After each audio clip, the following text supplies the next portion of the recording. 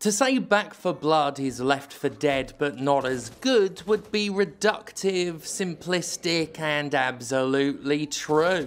Back 4 Blood is one of many horde shooters on the market, cooperative games where you go up against swarms of enemies bolstered by larger, more threatening ones. You got your Back 4 Blood, you got your World War Z, you've got your Aliens Fireteam Elite, you've got some shit with vampires, I don't know. Being developed by Turtle Rock, Back 4 Blood has a lot of Left 4 Dead in its DNA. The problem is it has nothing like the personality of that game, none of the same charm. There's a fairly sizable cast of characters to choose from, none of whom are as memorable or stand out as much as the protagonists from Left 4 Dead. None of the special oh sorry, special ridden you fight stand out the way the hunter and the smoker and the boomer and the witch did from Left 4 Dead. Tall half-naked zombie with clubby arm, lumpy zombie what explodes, zombie that spits something and jumps about a bit. They have some similarities to the original Special Infected, but just come across as more generic, less able to stand out from the commoner garden horde. And they're just fucking annoying to fight.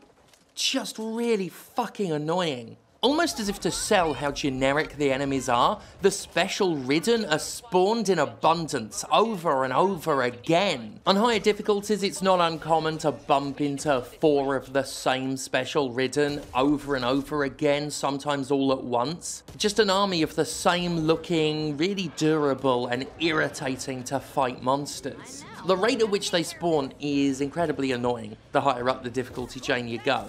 When there are multiple enemies on the map that can incap you and they keep spawning, it crosses over from difficult and challenging and scary to harassment. That's what Back 4 Blood does, it just harasses the players over and over again.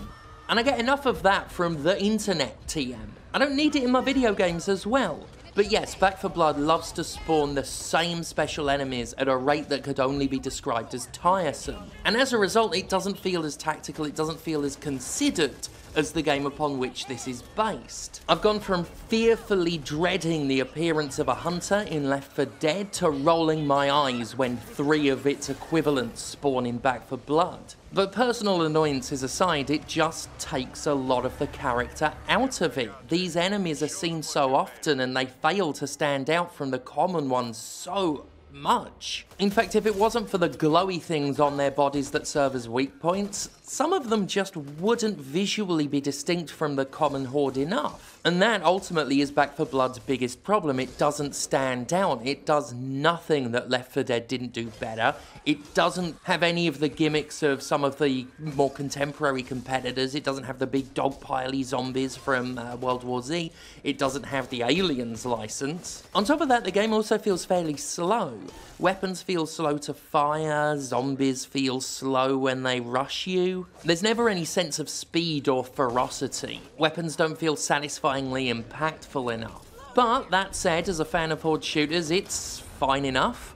I've played it a fair bit. I don't think I'd choose to play it over something like World War Z, but as far as follow-ups to Left 4 Dead go, it is one of them. And it does try and do its own thing, in that it cribs things from other games and puts them in. There's a very, very, very light roguelite element to the game. The weapons you pick up along each run have different stats, different attachments, different rarities, and those are different each run, so there's some random generation there. Same goes for the vendors that you can use to buy equipment before a run. There will be randomized attachments in there. And there are also cards that you can unlock throughout the game that confer various stat bonuses on the player. These cards are drawn at the beginning of each run, and you can choose one of them to apply to your character, and they will stack and build up over the course of a campaign. Some of those are fairly interesting. You've got really basic ones that just add to your health or boost your stamina. You've got ones that make different items more easily found throughout a run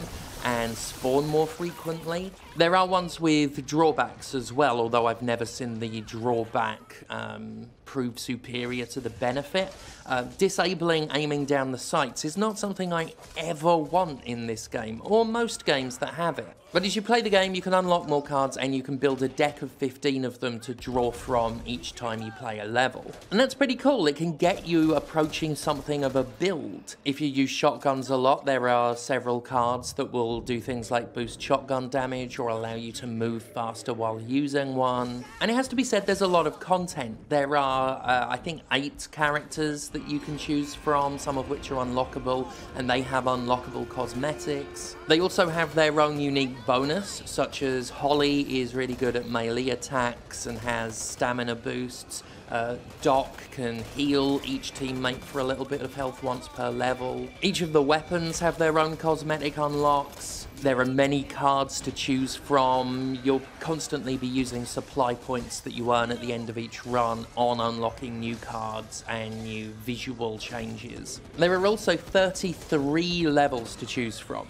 There are 33 stages, there are four acts, and they're split up into multiple chapters. So if you do get into the game, there is a ton to get into, and there are no microtransactions, because I know that's always a very valid concern. There is a season pass and a special edition and all of that stuff, but this is one of those games that could be easily exploited with in-app purchases, and it is avoiding that so far, so that's good so far. As with many games of this nature, it's more fun to play with friends. If you're playing with randoms online, it's going to be way more of a crapshoot. It has been for me. I don't have like many adult friends who, well, that that that implies I'm a friend to children or something. I'm no, I can't stand them.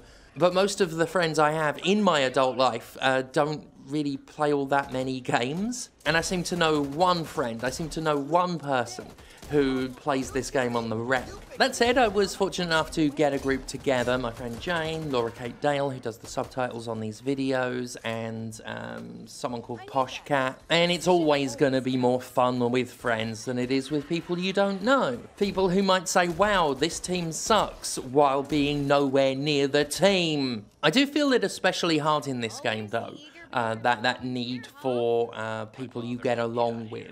Because in general, I don't have an issue playing with randoms. I have to do it most of the time anyway. I don't like talking to people, so if it is just three other people very silently playing the game together, uh, I'm into that. That's my idea of a good night in. But I find it harder to get into the gameplay of this with people I don't know. I don't find it so simple to just drop in and have a good time, especially on the harder difficulties, where there are, oh, there are corruption cards as well. There are these cards that are drawn that make enemies stronger, or impose limitations, or make more birds appear. There are birds in the game, and if you disturb the birds, it calls a horde. And then you'll have half a dozen specials just throwing up vomit on you and spitting webs at you and smashing you with club arms. And then there's a massive one. It's as big as a fucking house and it throws meatballs at you, literal balls of meat. And that's back for blood, really. Balls of meat. Left 4 Dead, not as good. Doesn't stand out so much compared to contemporary horde shooters or the game to which this is spiritually succeeding. I don't hate it. I don't love it. I think I'd honestly rather go back to World War Z. World War Z Aftermath came out, uh, it, it escaped my notice, so probably check that out now. Back 4 Blood. It exists.